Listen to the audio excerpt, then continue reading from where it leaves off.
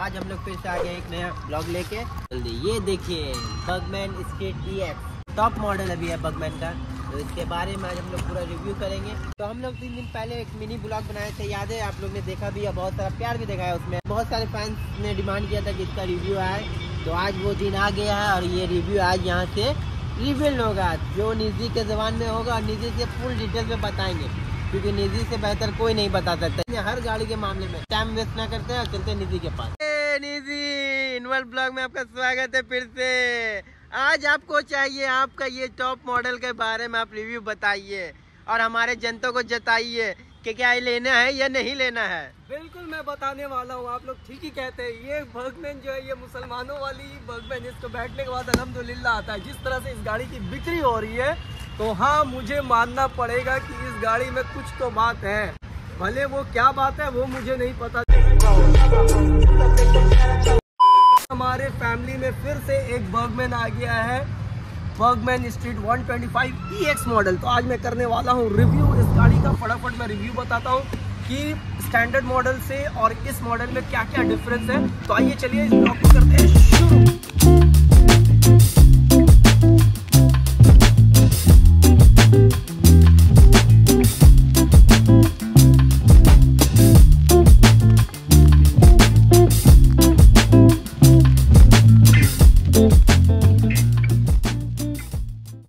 आप बताइए, हम लोग ने ये दोबारा गाड़ी क्यों लिया? हमारी जनता जानना चाहती है। बिल्कुल बिल्कुल, हमने ये गाड़ी को दोबारा फिर से क्यों लिया? क्योंकि हमारे घर में ऑलरेडी बर्गमैन 125 थी ऑलरेडी फिर भी हमने इस गाड़ी को हमने फिर से क्यों ले लिया? रीज़न ये है, हमने एक ब्लॉग बनाया था बर्गमैन स्ट्रीट 125 के ऊपर, जिसमें हमने प्रोज और कॉन्स दोनों ही दिखाए थे उस गाड़ी में, जिसको मैंने यूज़ किया था ढाई साल। तो उसमें मुझे जो जो प्रॉब्लम फेस आई थी और जो जो मुझे अच्छा लगा था, उस गाड़ी के बारे में मैंने एकदम ऑनेस्ट रिव्यू दिया था और मेरे उस ब्लॉग पे आप लोगों की वजह से बहुत ही अच्छा रिस्पांस मिला। तो उस वीडियो पे मुझे पॉजिटिव और नेगेटिव रिव्यू मिल रहे थे। तो मैंने इस वजह से मैं सोचा कि चलो, मैं फिर से इस गाड़ी को लेकर के देखता हूँ कि इसमें क्या क्या प्रॉब्लम फिर से आता है या नहीं आता है। तो ये गाड़ी मुझे लिए हुए मात्र तीन दिन हो रही है और इस गाड़ी का ये सबसे टॉप मॉडल है। तो आइए मैं दिखाता हूँ स्टैंडर्ड मॉडल से इस मॉडल में क्या डिफरेंस है। तो देखना चाहता हूँ कि इस गाड़ी में वाकई में कुछ सुधार आ गया। आखिर ये बहुत पॉपुलर बिक रही है। सिटी में अगर 10 स्कूटी पार हो रही है तो उसमें 8 बर्गमैन पार हो रही है। ये जो है आपका सबसे टॉप मॉडल इसे कहते हैं बर्गमैन स्ट्रीट 125 EX मॉडल इस मॉडल में आपको टायर 12 इंच का और थोड़ा सा चौड़ा मिलता है। अगर ये थोड़ा ज़्यादा अच्छा होता मतलब एंटॉप के तरह 110 सेक्शन का होता तो ज़्यादा अच्छा होता। लेकिन इसमें 12 इंच और 100 सेक्शन का टायर दिया गया है। तो ये एक मेजर चेंजेस है। सेकंड चेंजेस आपका एक फीचर्स बढ़ा दिया गया है। यहाँ पे आपको साइलेंट स्टार्ट का आपको फीचर्स इसमें बढ़ा दिया गया है। प्लस ऑटो स्टार्ट और ऑटो स्टॉप आप एक्टिवा भी लेते तो उसमें भी है, लेकिन इसमें भी ये फीचर्स डाल दिया गया तो अगर आप ट्रैफ़िक में खड़े रहते हो और विद इन थर्टी सेकेंड के अंदर तो गाड़ी ऑटो स्टॉप हो जाती है और आप ज़रा सा थ्रॉटल देते हो, जब आपको सिग्नल ग्रीन मिलता है थ्रॉटल देते हो तो गाड़ी ऑटोमेटिक स्टार्ट हो जाती है। तो ये एक फीचर्स ऐड किया गया है, जिस जगह पे आपको किल स्विच को हटा दिया गया है। और इस गाड़ी को इसमें थोड़ा सा क्रोम फिनिश दे दिया गया है बॉडी लाइन में। और इसमें ज़्यादा कोई मेजर चेंजेस है नहीं। वन के जी इसमें ज़्यादा ऐड किया गया है रेस्ट ऑफ़ दी अदर्स सब कुछ सेम है।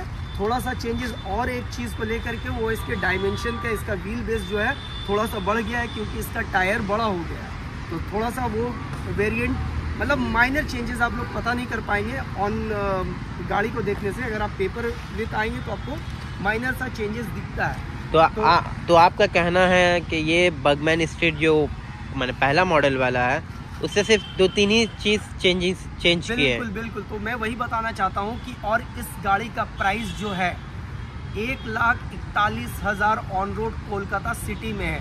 तो ये गाड़ी लेना क्या वर्थ है? आप उस गाड़ी और इस गाड़ी से आपको difference near about twenty thousand का डिफरेंस आता है। तो क्या ये गाड़ी लेना वर्थ है?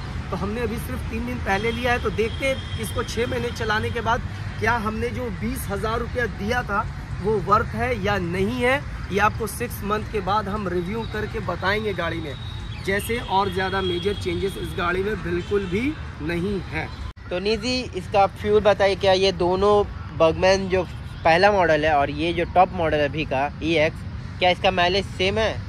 हाँ बिल्कुल आपने बहुत अच्छा क्वेश्चन किया। देखिए वो हमारी जो पुरानी बर्गमैन है वो मुझे माइलेज देती है 50 अबव मैं हाईवे और सिटी विथ राइडिंग करता हूँ और मुझे मिक्स करके भी मुझे 50 प्लस का माइलेज आता है।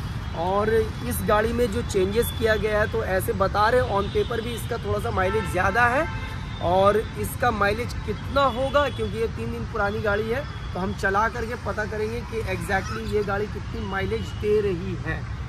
इसका परफॉर्मेंस बताइए। तो ऑन पेपर इसमें पावर घटाया गया, लेकिन जब मैं इसे चला रहा था, जब इसको मैं चला करके यहाँ पे आया हूँ, क्योंकि हमने तीन दिन पहले इस गाड़ी को लिया है, और अभी मैं जहाँ पे आया हूँ ब्लॉग बनाने के लिए तो ऑलमोस्ट ट्वेंटी किलोमीटर है। तो वहाँ से यहाँ तक का मैंने जब राइड किया तो मुझे कॉन्फिडेंस इस गाड़ी के ऊपर ज़्यादा महसूस हुआ, मुझे चलाने में ज़्यादा मज़ा आया, इसकी रोड ग्रिप पहले से ज़्यादा बेहतर है due to the reason 12 inch का टायर मिल गया, और थोड़ा सा टायर चौड़ा हुआ है हंड्रेड सेक्शन का। तो मुझे ब्रेकिंग इसमें बहुत अच्छा लगा। साइलेंट स्टार्ट गाड़ी में फीचर्स ऐड कर दिया गया है। तो अभी तो फ़िलहाल नई गाड़ी हो सकता है मुझे अच्छा लग रहा है चलाने में। तो इस वजह से आपको गाड़ी में जो कॉन्फिडेंस था मुझे बर्गमैन को लेकर के। तो बेसिकली निजी ये कहना चाहता कि इसकी चाल सेक्सी है। यस एब्सोल्युटली करेक्ट मैं कह सकता हूँ कि परफॉर्मेंस वाइज ये पहले से बेटर हो गई है। अगर जिसे थोड़ा सा स्टाइल पसंद है थोड़ा सा परफॉर्मेंस इंथुजियास्ट है जिनको पावर पावर भी चाहिए स्टाइल भी चाहिए और कंफर्ट भी चाहिए तो ये one of the best choice है। लेकिन अब देखते हैं इसको छः महीना चलाने के बाद क्या क्या ड्रॉबैक आता है इसमें। ये क्या गाड़ी पहले से बेहतर हो गई है या उसमें कुछ ना कुछ कमी आ गई है? तो ये हमें चलाने के बाद पता चलेगा। तो देखते हैं, चला करके इसमें क्या क्या कमी है। क्या बैटरी ख़राब हो जाती है या कोई और कमी ख़राब होती है? इस बार सर्विस सेंटर कैसा है? पिछली बार मैंने सर्विस सेंटर के बारे में बताया था कि उतना अच्छा नहीं है। तो इस बार जब लेके जाएँगे हम सर्विस सेंटर में तो वो भी पता चल जाएगा कि इसका आफ्टर सेल सर्विस इम्प्रूव्ड हुआ है या नहीं हुआ है। अगर आपके माइंड में चल रहा होगा कि बगमैन ई कैसा है तो हो सकता है आपको आपको लेटेस्ट अपडेट मिल जाएगा तो जिससे आपका माइंड सेट हो जाएगा कि हमें गाड़ी लेना है या नहीं लेना है। हमने तो ले लिया, अभी वापस नहीं कर सकते उसको हमको चलाना ही पड़ेगा। तो हमारे साथ बने रहे। चैनल पे जिन लोग पहली बार इस वीडियो को देख रहे हैं तो प्लीज़ जाके फॉलो करें, सब्सक्राइब करें हमारे चैनल को और हमसे जुड़े रहें। क्या डे बाय डे हम आपको अपडेट्स देते रहेंगे इस गाड़ी के बारे में। Thank you for watching in world blogs